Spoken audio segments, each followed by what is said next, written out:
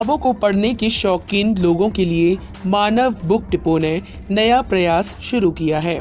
इसी के लिए मानव बुक डिपो द्वारा अपने नए प्रतिष्ठान का उद्घाटन किया गया है, जहाँ सभी तरह की किताबें एक ही छत के नीचे आसानी से मिल सकेंगी और आपको कहीं और नहीं जाना होगा। इस मौके पर शहर के मेयर नवीन जैन ने फीता काटकर प्रतिष्ठान का विधिवत उद्घाटन किया और इसे मानव बुक डिपो की अहम पहल बताई।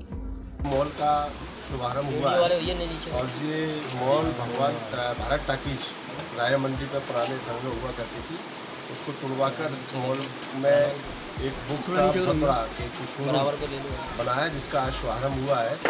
और इसके शोरूम के बनने से आगरा में मुझे लगता है कि इतनी बुक्स कहीं नहीं मिल रही आगरा ही नहीं मुझे लगता है कि उत्तर प्रदेश में अपने आप में ये अलग मॉल बनाया है बुक्स का। और मैं शहर के नागरिकों से अनुरोध करूँगा कि जिन लोगों को बुक्स में रुचि है एक बार ज़रूर आए इस मॉल में और बुक्स लें और अपना ज्ञान बदल का कार्य करें। सर आपका? मानव अग्रवाल। मानव अग्रवाल जी आज उद्घाटन हुआ है। किस तरीके से क्या कहना चाहेंगे इस जनता से? सर ये उत्तर भारत का पहला बुक मॉल बनाया है मैंने। अ, मेरी काफ़ी सालों से इच्छा थी कि बच्चों को ऐसा बुक का शोरूम समर्पित करूँ जो बच्चों को हर तरह की बुक अपने आप एक मौका मिल जाए उसे चूज़ करने का। यहाँ पर अगर मेरे शोरूम में आते हैं तो हर सब्जेक्ट की बुक है उसे रखी मिलेंगी।